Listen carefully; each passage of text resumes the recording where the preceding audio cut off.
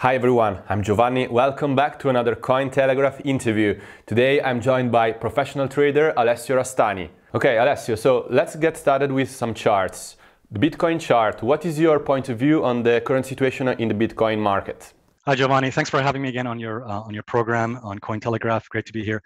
Um, so about Bitcoin, the way I approach it is, uh, as I'm sure many people uh, are aware, um, I approach it through the Elliott wave model uh, or Elliott wave theory. The reason, first of all, what is Elliott wave theory? Elliott, Elliott wave theory simply says, as, as this uh, standard chart shows, um, the standard model, that when price is trending, that price essentially moves in the direction of the major trend in five waves.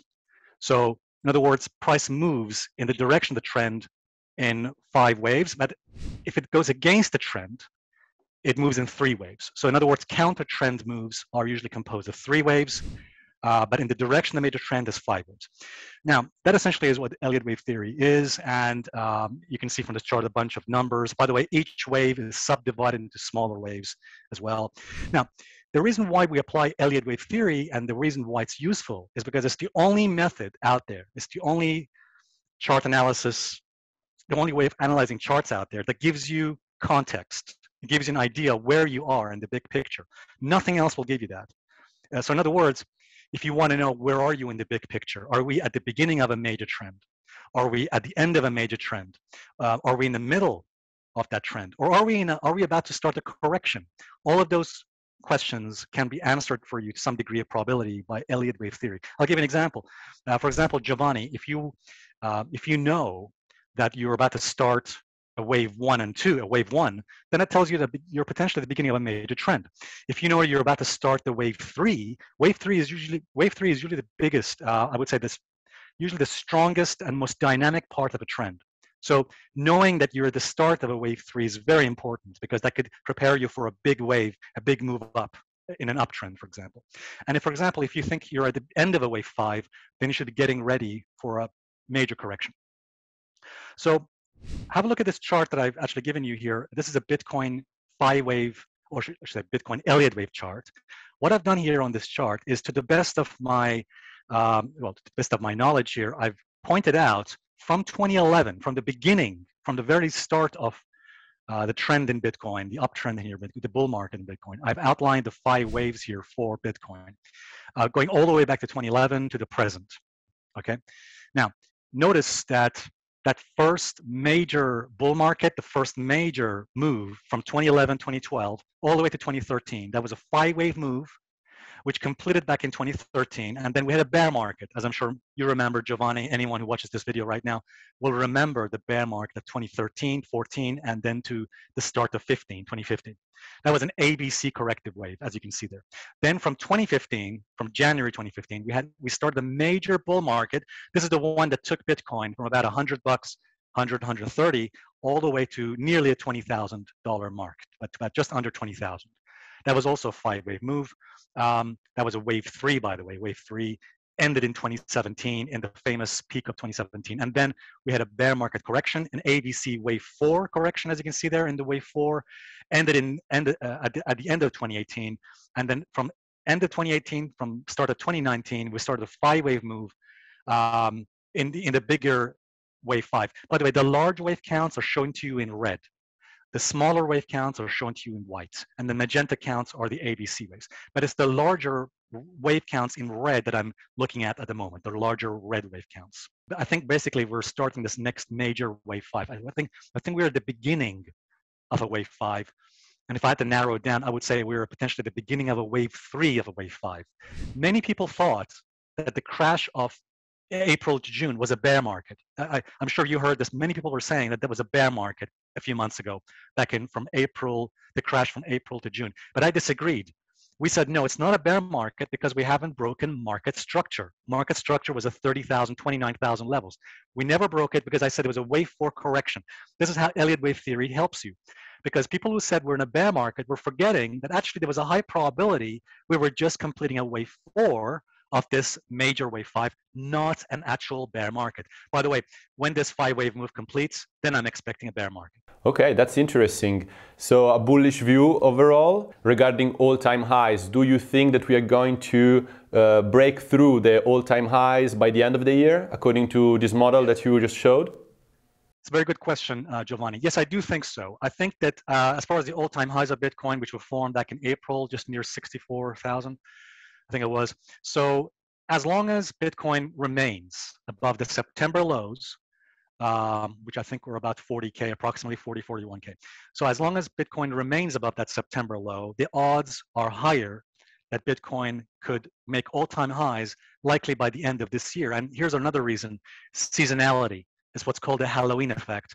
My research shows that the period between the end of October, October 31st, to the end of December is a bullish period, not just for the stock market, but also for Bitcoin. So now, of course, seasonality is not a guarantee. Uh, people often think that seasonality is a is like a sure thing that definitely we're going to go higher or it's definitely it's bullish. No, it's a, it's a probability. Uh, I would say the probability is higher than 50%. So it's a very good probability. But all the studies show that as long as Bitcoin remains above the 200 moving average, daily 200 moving average, um, the odds are higher for Bitcoin to move potentially higher, making all-time highs between October 31st, Halloween, and the end of the year. Okay, that was pretty clear. So now let's switch to Ethereum. So a lot of eyes are pointing to Ethereum this year because it has been uh, outperforming Bitcoin for most of the year. Uh, what is your view on Ethereum currently? Uh, I'll make my analysis on Ethereum very quick because my main focus is usually on Bitcoin. But essentially, I think that Ethereum um, also is going to benefit. I think Ethereum. One of the things that's interesting is Ethereum has not yet confirmed, as I'm making this, as, as we're making this video. I mean, it could change by the time people are watching this, but at the time we're making this video, Ethereum has not yet confirmed the breakout above the uh, September highs, although uh, maybe that will, that will change soon. But Bitcoin has made, Bitcoin has taken out the September highs. Ethereum hasn't done that just yet, at the moment anyway. I think once Ethereum confirms that, once Ethereum takes out the September highs, that also would be a very bullish factor. So I always like to combine Bitcoin and Ethereum together to, to get a better uh, probability. Put it this way, if Bitcoin is going to go to 100,000, which I think is likely by, the, by next year, um, then I think the probabilities are that Ethereum is likely to go. Well, my targets for Ethereum would, would also be for next year, or maybe perhaps by the end of this year, would be 6,280 Again, these are my targets. More likely to be next year, but 2022. Uh, but let's say 6,280, uh, 7,800, and then 12,250. Uh, some people may think these targets are rather conservative, uh, rather tame, but I'm going to keep it. I'm going to keep it modest and conservative. So that's 6,280, 7,800, and 12,250, potentially by the end of next year for Ethereum. And if Ethereum were to drop below the September lows, which I think carries a lower probability, but if that were hap- hap- if that were to happen, then I would have to change my mind about those targets uh, potentially because that would change that would change the structure of the charts. But those are my targets as long as Ethereum remains above the September lows. There are news coming out lately that uh, a Bitcoin ETF might be approved soon. There are several of them that are being uh, considered by the SEC currently. So, what is your view on this issue? There are some analysts that say that this is um, going to be uh, not a game changer since there are already a lot of access uh, to Bitcoin investments for institutions as well. So, it's not going to be a game changer as some people tend to believe. What is your view on this uh, uh, ETF approval? What kind of effect might have on, on Bitcoin? I think it's going to be bad news for Bitcoin. Um, put it this way. Um, let me explain why. So, whenever Wall Street or whenever um, the institutions bring out an ETF on anything, that's a warning sign. It's a big warning sign to get ready for something terrible, get ready for something dangerous. Now, don't get me wrong here. I'm not saying as soon as, soon as the ETF comes out that Bitcoin is going to crash or I'm going to get out. That's not what I'm saying. I just hope the ETF won't come out before Bitcoin hits 100, 100K. I'm hoping it's going to come out after Bitcoin hits 100K. Because in the past, whenever an ETF has come out on most things, on almost anything, you see usually a top forms uh, usually a major top forms in that market, and we see a bear market or a crash occur in that market.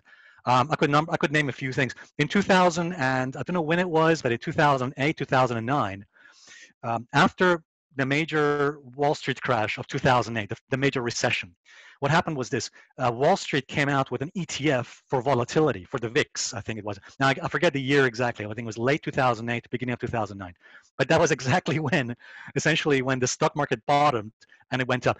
What I'm trying to say is, Wall Street saw a lot of people were putting their money into volatility index markets.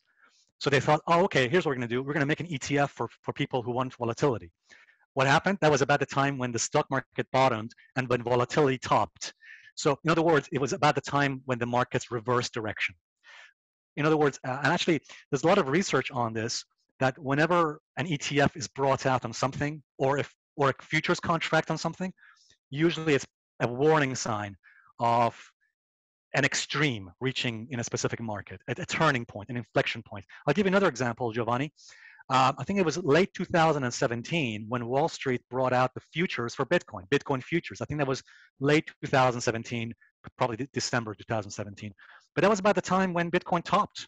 Um, when there was a temporary top at the 19,000, 20,000 level, and then it crashed. So my point is, anytime Wall Street brings out something, whether it's a futures contract for something or ETF or something, it's a huge warning. It means be careful and be, get ready for something. Get potential a potential inflection point, turning a turning point might be getting uh, might be approaching. All right, that's an interesting perspective. Quite, uh, I would say, uh, counterintuitive, but let's see how it goes. Uh, let's uh, then wrap up the discussion with my last question which is related to one of your predictions. So you predicted that a bear market for the stock market uh, may be coming soon. So uh, what time frame are we, are we looking at? Uh, why do you think that a bear market is coming and what kind of effects that is going to have on Bitcoin?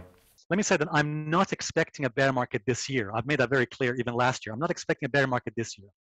I think a bear market in Bitcoin and the stock market is likely coming potentially towards, uh, I mean, in the next couple of years. So uh, according to Jason Goepfert of SentimenTrader, he says that there's a rising probability of bear market and deteriorating macro conditions. And he says that whenever there's a, whenever the spread between bear market probability and macro index models increases over 20%, uh, as, as, as shown here by this chart, then there is a very high probability of a bear market. In fact, we've seen before when this happened. 2007, bear market occurred afterwards. 2000, then we had the dot-com crash, the dot-com bubble uh, burst.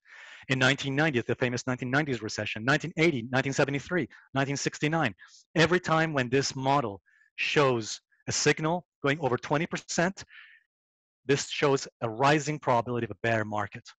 Um, and I, again, uh, thank I have to give thanks to Jason uh, for that research.